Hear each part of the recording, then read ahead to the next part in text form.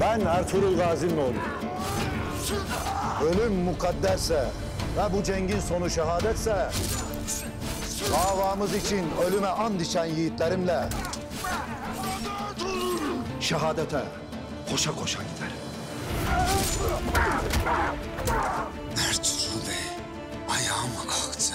Senden sonra bizim yolumuzu kim aydınlatacak? Ertuğrul o ismi açıklamadan ölmeli. Sana söz veriyorum. Töremizi muhafaza edeceğim. Adaleti hakim kılacağım. Kararını Allah mübarek eylesin.